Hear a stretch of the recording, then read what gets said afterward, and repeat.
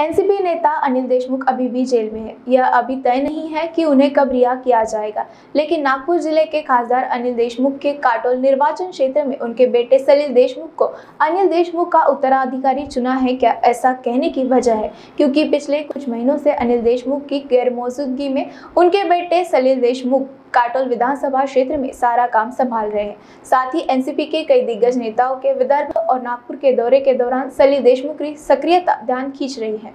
Nagpur is famous for संतरे tiger zero mile और साउजी खाना। और साउजी खाने को उसका असली स्वाद देते हैं साउजी मसाले, जिससे बनता है ऑथेंटिक साउजी खाना। मसालों में मसाले अहिरकर ग्रुप के साउजी मसाले।